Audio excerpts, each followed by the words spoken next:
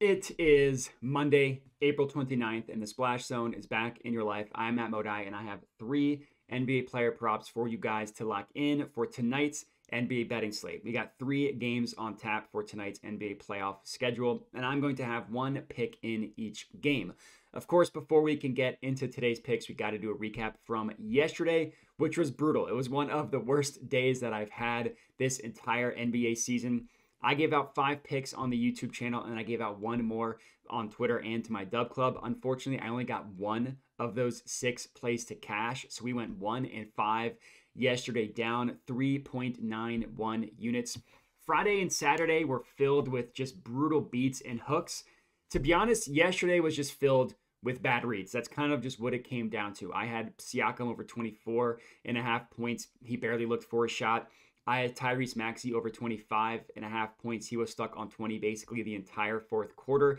PJ Washington went one of four from deep. I had him making two three pointers, and then I had James Harden under two and a half made three pointers. He made four in the first half, and those were all four he made the entire game. The only thing that we were able to cash was Anthony Edwards over five and a half assists, so that was nice for a plus 140 cash. But overall, just a very, very bad weekend, a very bad three stretch, uh, three day stretch that we are having here. Of course, that comes on the heels of going seven and one combined on Wednesday and Thursday.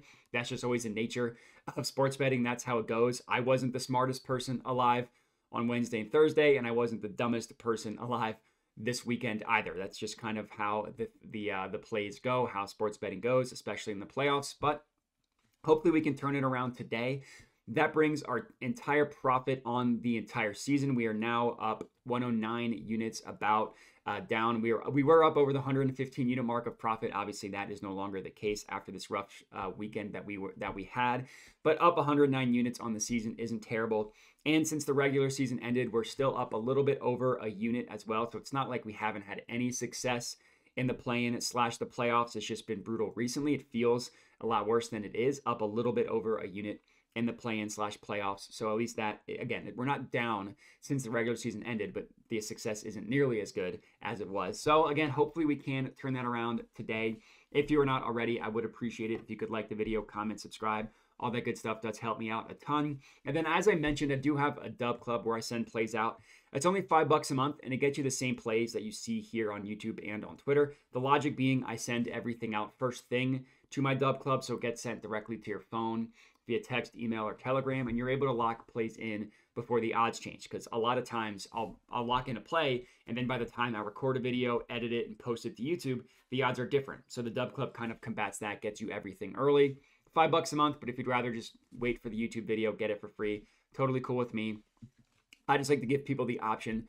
But that's enough of that. We can get into today's bangers. Let's hope we can put this weekend behind us, splash around, and get wet. Starting in the Thunder versus Pelicans game, I'm taking Herb Jones over one and a half made three pointers, minus 140 odds at bet 365. Now, yes, minus 140 is probably the steepest I've played this entire season. I admittedly don't love the minus 140 odds, but I do think that it's a really good play for him to make two three pointers, so I'm willing to accept the juice in this one.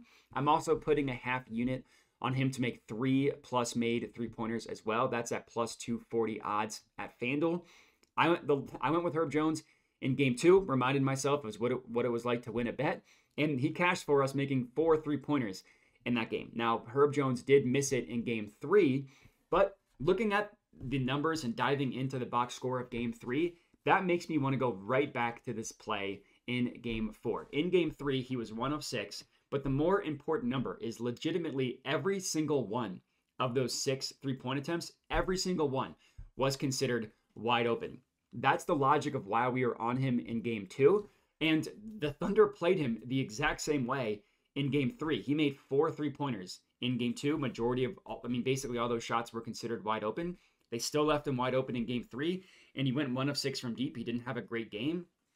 That just makes me confident going right back to him in game four. It's the, almost the same logic from games one and two, right? Game one, he went two of eight from deep. I saw that, and he did make two, but I saw that and said, okay, he didn't have a sh- good shooting game. I love the eight attempts. He's probably going to turn around and have a better shooting game in game two because that's just the nature of the business. He turned that around, shot four of seven from deep. Then in game three, exactly what I mentioned, he was one of six. which which is exactly why we are on him today. The Thunder, they're going to play him the same exact way they played him in the regular season, the same exact way they played him through three games in the playoffs so far. They're just going to leave him wide open. And Herb Jones has turned himself into a good enough shooter that he can make wide open three point attempts. And I'm confident that he's going to keep firing away in game four as well, kind of similar to games one, uh, from game one to game two.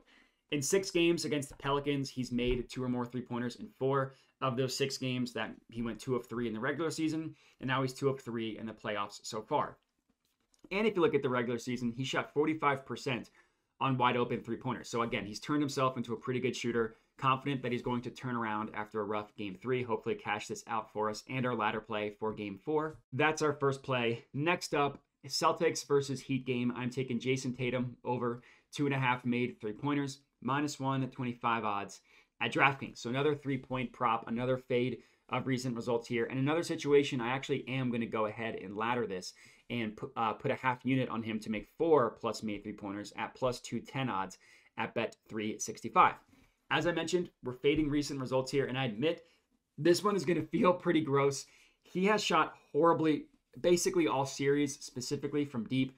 So we're going to go ahead and label this our Pepto play of the day. because It's going to feel a little bit scary backing Tatum with how bad he's been shooting. But this is the exact type of play that I absolutely love and what had a lot of success in the regular season and a lot of success in last year's playoffs as well. Now it's been rough the past couple days. Doesn't scare me off completely from a strategy that has a sample size, a large sample size of working. Game one, Jayson Tatum shot one of eight from deep. In game two, he was two of six. And then in game three, he was two of seven. We've seen this happen with Jayson Tatum. Also, we've seen it happen in the playoffs as well. He's a very streaky shooter.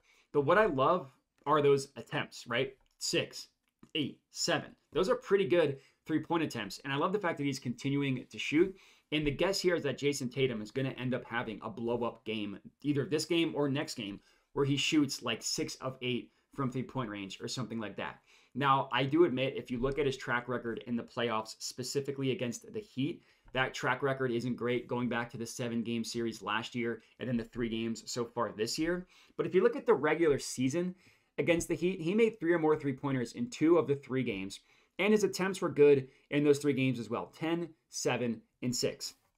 And then I know that this is a different team, but we also saw this in the seven game playoff series against the Sixers last year as well. Jayson Tatum had multiple cold stretches of games in a row. Then he blew up in the fourth quarter of game six. And then he blew up in game seven, making uh, scoring 50 points and making six three pointers. The guess here is that we're going to see something like that in store for Jayson Tatum. Hopefully, it's tonight after shooting a combined five for 21 in the first three games. I'm ready to, back, to buy in on Jayson Tatum, turning this three point percentage around, having a good shooting game tonight. And he could get up another, he could have another bad shooting game, get up another 10 attempts. As long as he makes three, we're good to go, or hopefully four, cashing out our ladder play as our second play. Last up, third and final pick of the video. Lakers versus Nuggets game. I'm taking D'Angelo Russell under 15 and a half points, minus 109 odds at Bet Rivers. It's been a very, very interesting series for D'Angelo Russell, who has just flip flopped. I mean, he is the uh, the ultimate flip flop player in these four games of the playoffs. He's gone from poorly to great in every other game. Game one, he was terrible. He scored 13 points, but more importantly, he shot six of 20 from the field and one of nine from deep.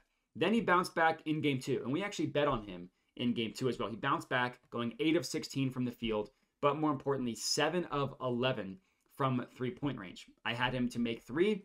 He made that, he doubled that. He made seven. And then game three, one of the worst games a human being has ever played. He legitimately did not score a single point. He literally scored zero points. He was 0 of 7 from the field and 0 of 6 from deep. He was benched in that game. He only played 41, or excuse me, he only played 25 minutes. Then he bounced back in game four. He scored 21 points. He was 8 of 15 from the field, 4 of 8 from deep, and played 41 minutes. So it's it's like an every other thing for D'Angelo Russell. But the reason why I'm on his under tonight is not because I think he's incapable of playing well two days in a row, but the Nuggets all year were a tough matchup for point guards, and they've been a tough matchup for D'Angelo Russell specifically as well. So yes, I'm not saying again that he can't play well two games in a row. More so just just fading outlier shooting performances, right?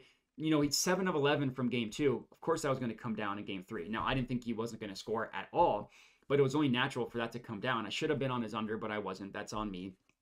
And then the same thing after game four, right? He scored 21 points, 8 of 15 from the field, 4 of 8 from deep. Those are numbers that I want to fade in a matchup that D'Angelo Russell has specifically struggled against. Uh, especially last year, he was terrible against the Nuggets. I will admit he's been a little bit better. This year, he went over in one of two regular season games, and now he's gone over in two of four playoff games. But after, again, a good kind of outlier shooting performance in game four, I think the Nuggets come back, shut them down in game five. The Nuggets win, cover the spread as well as my official prediction there.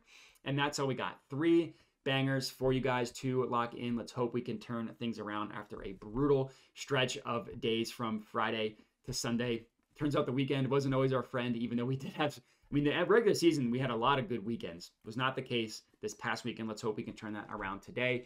Appreciate everybody who has been rocking with me through this cold streak. Let's get through it together. Remember to like the video, comment, subscribe, all that good stuff. Check out uh, my Dub Club if you're interested. Link to that in the description of the video as well as the pinned comment. Appreciate everybody for watching and have a good one.